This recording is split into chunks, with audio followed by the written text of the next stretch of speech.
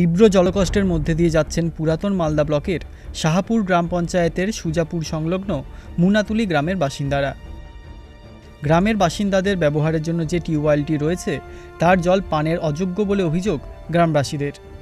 এই জল খেয়ে অসুস্থ হয়ে পড়েছেন অনেকে। টিওল একটা আছে টিওলে এমন জল উঠছে জল মানুষের খাওয়ার উপযুক্ত না। সে জল খেয়ে পেটে ব্যথা হয়ে যাচ্ছে, মানুষ অসুখ হয়ে যাচ্ছে। অসুখ যে হচ্ছে ডাক্তারে যে আমরা যাচ্ছি তো পয়সাটা কোথা থেকে পাবো যে দিব গরিব মানুষ আমরা? এখানে আমরা এক দেড়শো এক দেড়শো ঘর বাস করি। কেউ জল পাচ্ছে না। অন্যজনের বাড়িতে আমরা জল নিয়ে খাচ্ছি, সে যদি আমরা জল না দেয়, আমরা জল, বেগর সবাই মারা যাব। অন্য সে লোকটা যদি জল না দিত, তা আমরা এক টাইম শুধু জল নিই ওদের বাড়িতে।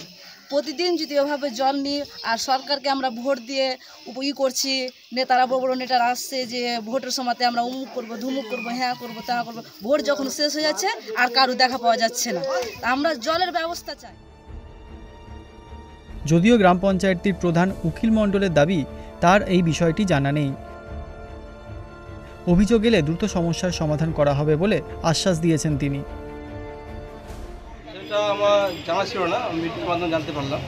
আমার কাছে গ্রামবাসী মিশন বা অভিযোগ করলে সেটা আমি দ্রুত পনেরোর মধ্যে ব্যবস্থা করব পঞ্চায়েতে কোনো লিখে রাখা জানা হয়নি। আমার জানা হয়নি বা আমার পঞ্চায়েতে কেউ আসেও। মানে আমার এরকম অভিযোগ পেলে তো আমি যেমন এর আগে অভিযোগ পেয়েছিলাম মাদারীপুরে আপনাদের মাধ্যমে, আমি ওটাও কোনো দিনে ছাড়িয়ে দিয়েছিলাম। প্রায় শ দেড়েক পরিবারের বাস এই গ্রামে।